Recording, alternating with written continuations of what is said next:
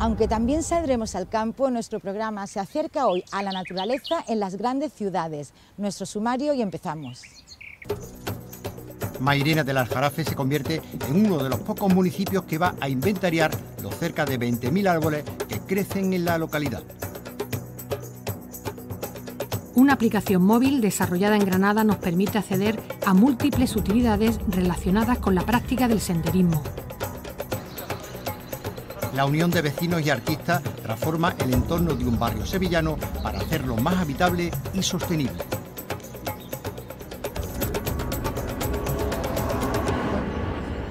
Pocos municipios tienen en consideración sus árboles hasta el punto de inventariarlos, describiendo la ubicación y las cualidades de cada uno de ellos. Lo están haciendo en Mairena del Aljarafe.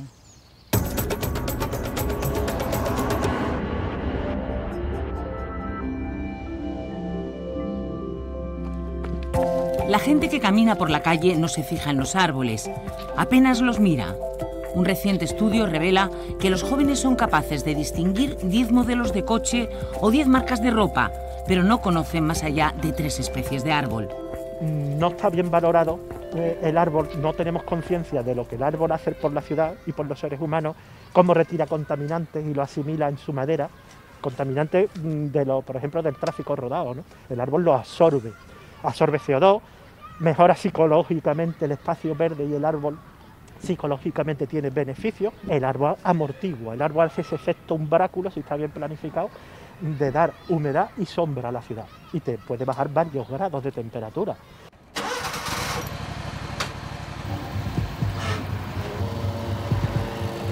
El ciudadano, la parte más cerca que tiene la naturaleza es un parque.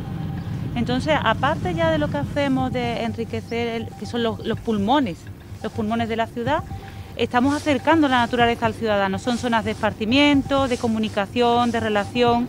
Entonces tener un parque abajo de casa es como el que tiene un jardín propio.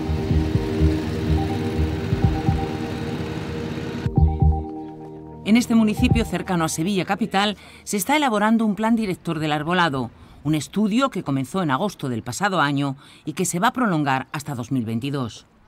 Es importante tener un plan director porque nos va a ayudar a planificar qué especies son las más adecuadas para plantar en, nuestro municipio.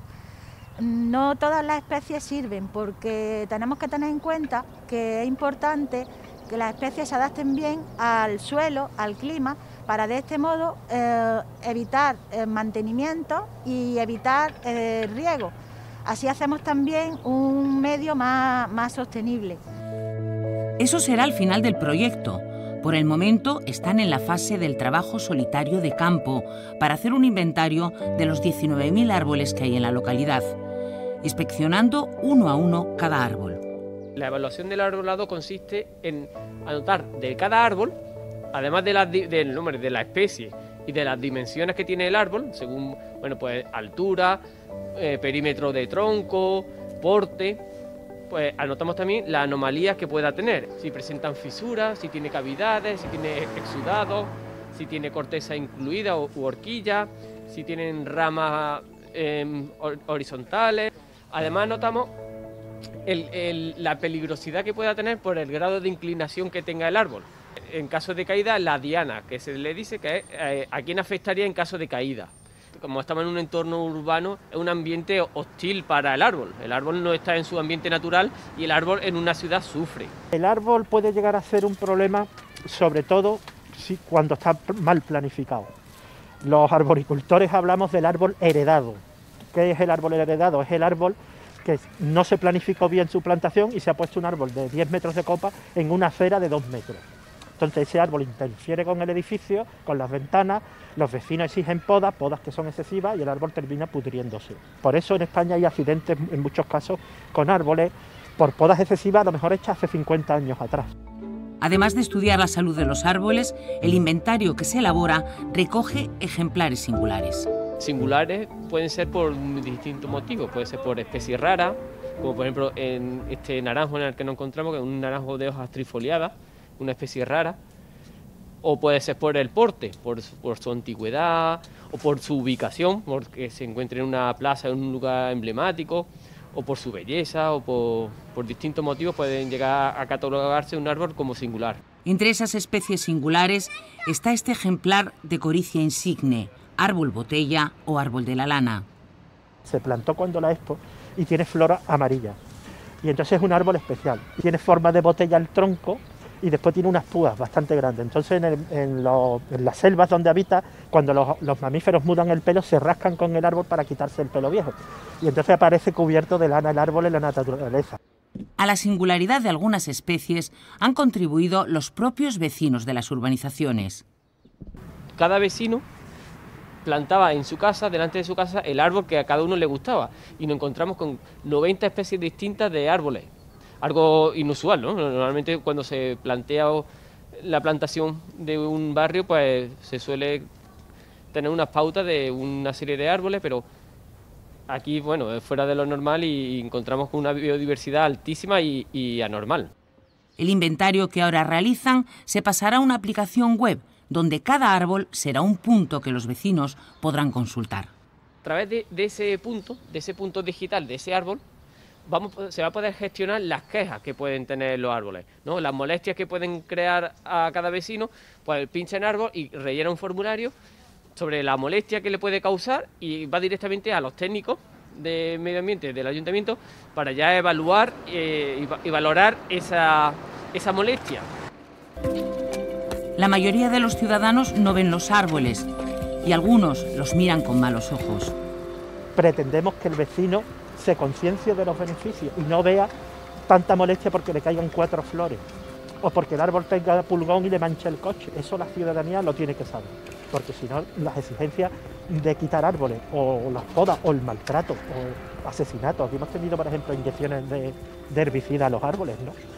Entonces eso hay que acabar con eso hay que concienciar a la gente de que el árbol da mucho más beneficio que inconvenientes. La mayor parte de la población está concienciada.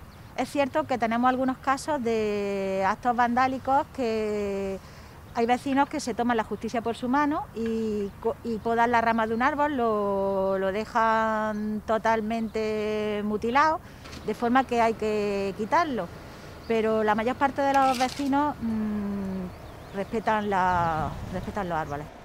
El proyecto también recoge aspectos de educación medioambiental, itinerarios por los parques, concurso de fotografía y formación en los colegios. Todo ello cuando la pandemia lo permita.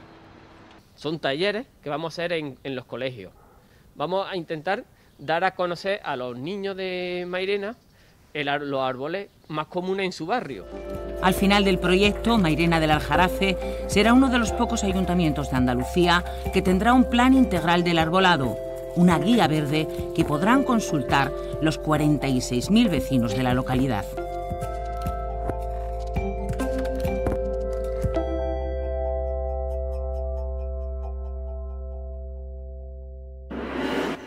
Las aplicaciones móviles también pueden resultar muy útiles a la hora de practicar senderismo en algún espacio natural de Andalucía. Nosotros lo vamos a comprobar en Granada.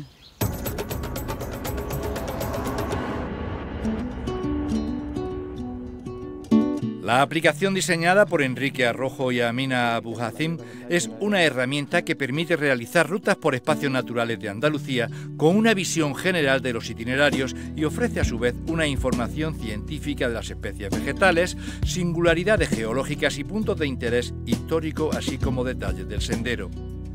Su experiencia como profesores de instituto ha sido fundamental en el desarrollo del potencial didáctico de la misma. Hoy vamos a hacer eh, una ruta que es la de Padul, eh, Silleta de Padul. ¿vale? Entonces, eh, si te parece, vamos a abrir la app que nos guíe y como el trazado de esta ruta discurre por el Parque Natural de Sierra Nevada, tenemos que buscar ese parque dentro de la app. Esa búsqueda la podemos hacer a través de este eh, listado de espacios naturales protegidos de Andalucía. Eh, o bien lo podemos hacer a través del mapa, le damos la opción del mapa y en este mapa aparecen, como ves, cartografiados los distintos espacios naturales eh, protegidos de Andalucía. Los itinerarios están estructurados en tramos y paradas con especial atención a las bifurcaciones y cambios de dirección de la marcha para que el usuario pueda disfrutarlo desde el punto de vista ecológico, botánico, geológico o paisajístico. De cada segmento y parada se ofrecen imágenes de referencia para seguir correctamente la ruta. Eh, aquí llegamos a una a una parada que aparece en la app, eh, una parada simplemente guía, ¿no? porque llegamos, desembocamos a, una nueva vereda y simplemente lo que eh, siguiendo la app te dice que tienes que girar. La aplicación recoge los espacios naturales de Andalucía con la información detallada de sus singularidades para que tanto los senderistas expertos como los andariegos en fase de iniciación puedan disfrutar plenamente con la ayuda de su teléfono móvil. A la información detallada se accede desde un mapa en el que aparecen cartografiados diferentes espacios naturales de Andalucía, parques nacionales, parques naturales, parajes naturales y monumentos naturales. Las formaciones geológicas y sus características suponen una información adicional relevante que permite conocerlos y comprenderlos mejor. En este tramo, como ocurre en, otros itinerarios de la APP, eh, no solamente se informa o se da información sobre la flora y vegetación, sino que eh, se explican cosas relacionadas con geología, con rocas y demás.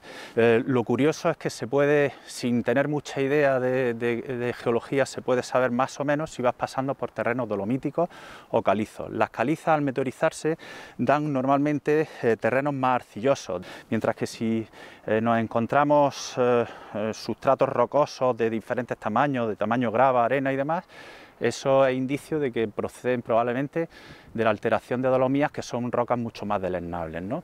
La aplicación resuelve de forma fácil las dudas que a los aficionados a la naturaleza les puedan surgir sobre las comunidades vegetales de los itinerarios al identificar con fotos las especies vegetales que componen estas comunidades. Está representado eh, por una especie, pues yo mm, sin ningún género de duda, yo sé que ese pino que estoy viendo aquí, como es la única especie de pino que hay, yo sé que ese es el pino carrasco. Ahora, puede haber algunas que pueda haber cierta duda, ¿no? Por ejemplo, aquí tenemos eh, dos especies que aparentemente son los mismos, este es el, romero y este es el romero macho. Eh, si nos vamos a los nombres científicos, Rosmarinus officinalis y este es Cistus clusi o Cistus romarinifolius. Ese Rosmarinifolius te está diciendo que tiene hoja de romero, con lo cual, si ahora venimos en invierno a hacer una ruta o en, o en otra época diferente a la primavera, dice, esto se puede reconocer, pues aún así se puede reconocer, lo que pasa allá hay que tirar un poquito de experiencia, ¿vale? Experiencia en cuanto a que yo creo que todo el mundo conoce que el romero es una, planta aromática. Simplemente con coger una hojita y olerlo, ya sé cuál es romero y si cojo una hoja del romero macho, me va a oler totalmente diferente. La aplicación se convierte en un guía personal que acompaña e ilustra. Con la información facilitada, también se puede marcar el ritmo de la marcha para alcanzar los puntos de interés paisajístico u organizar las paradas. Que es una parada de carácter informativo. hay otras paradas que son paradas guía que nos van eh, llevando correctamente por la ruta.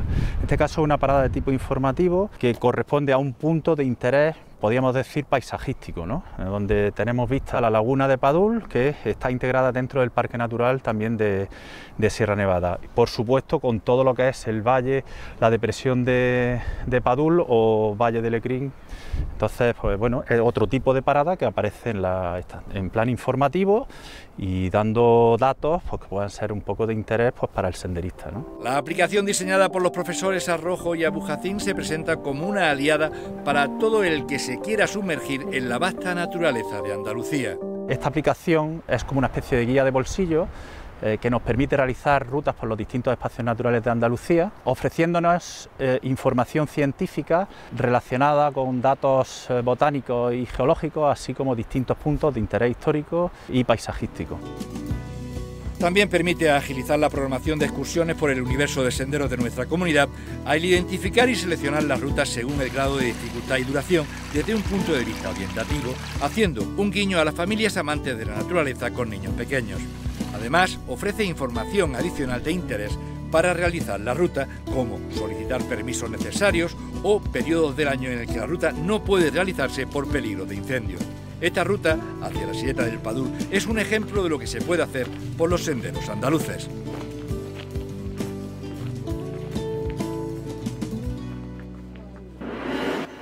El barrio sevillano de Amate es el escenario de una iniciativa singular en la que se han unido vecinos y creadores para hacer un espacio urbano más habitable.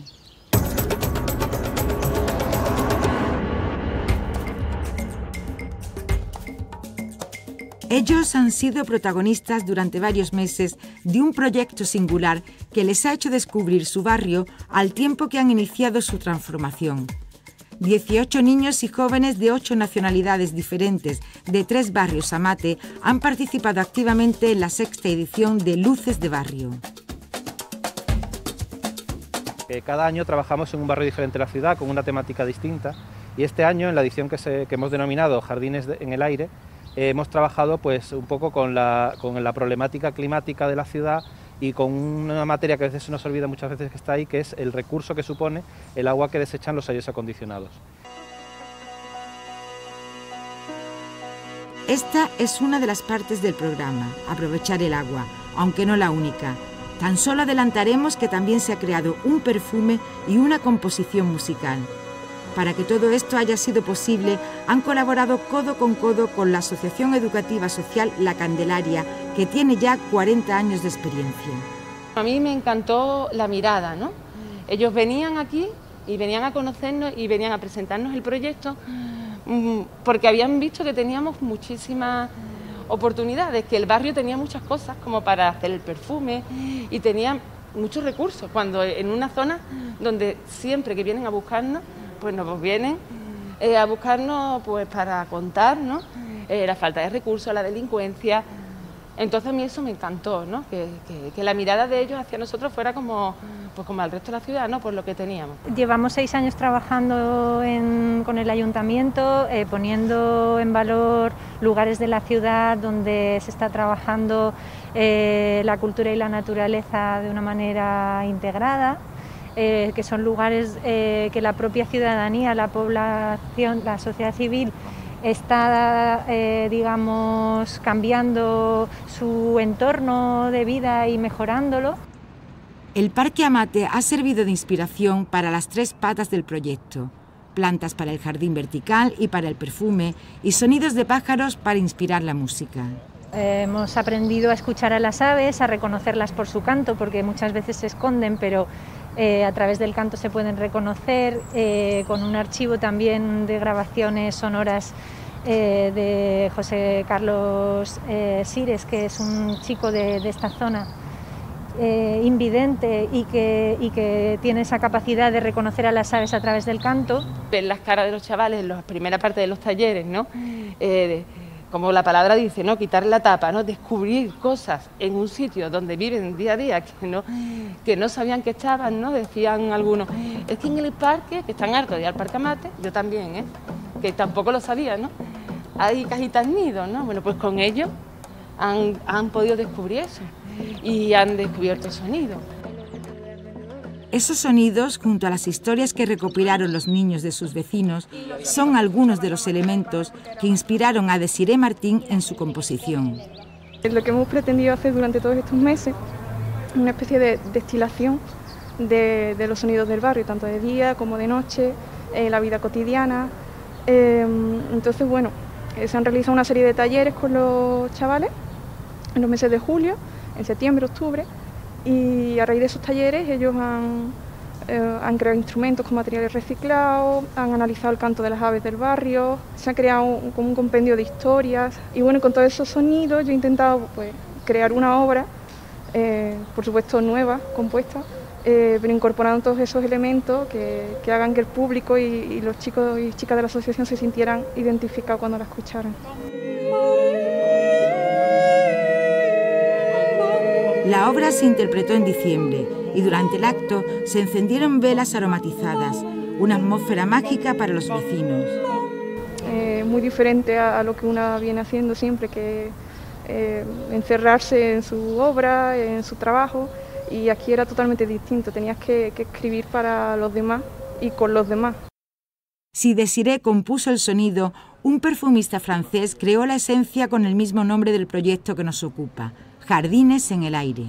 se ha hecho también un perfume con las plantas y las esencias de las plantas con mayor presencia en la ciudad o en, el barrio en concreto, por ejemplo el naranjo amargo o los falsos pimenteros que nos rodean ahora. Aquí se ha trabajado, por ejemplo, con el romero, con la rosa que tenemos en cualquier balcón o en cualquier jardín y después a nivel más del parque o de la ciudad, por supuesto el naranjo amargo. De hecho, eh, eh, Tres Barros Amate posiblemente sea uno de los barrios con mayor densidad de naranjos eh, en la ciudad de Sevilla, a pesar de que estemos entre comillas en esa periferia, y con un intercambio en este caso de, cartas con, un perfumista de primer nivel, como es Barnabé Fillon, un perfumista francés, lo que hacíamos era enviarle esas pruebas o esa, información y él nos envió unos primeros diseños de unos perfumes donde se condense un poco pues, el espíritu aromático del barrio y eso es el perfume de Jardines en el Aire que se ha desarrollado.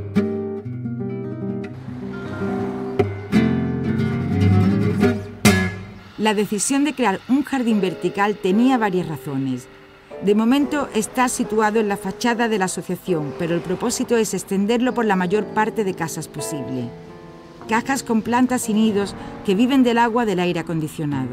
La idea partía eh, de, una cuestión, de un elemento que, que está muy presente dentro de las ciudades, principalmente del sur, que son las máquinas de aire acondicionado, y hemos creado este jardín vertical eh, que lo que hace es aprovechar el agua de los aires acondicionados para regar las plantas que, allí se, se han adecuado.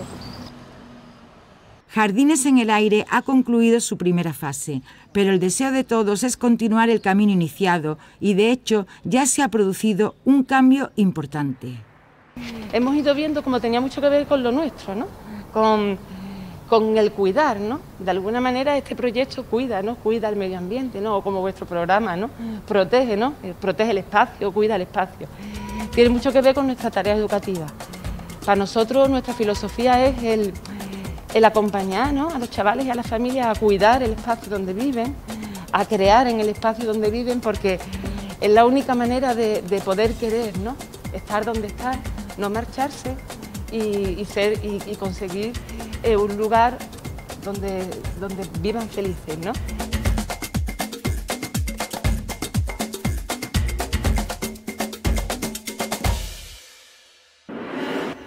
La imaginación y el esfuerzo de los vecinos es el motor más poderoso para hacer de nuestras ciudades espacios más amables. Volvemos a vernos aquí, en Espacio Protegido, en Canal Sur Televisión y también en las redes sociales y en canalsur.es. You're driving a long way home. No going back. You're lost on the open road. And no, I don't.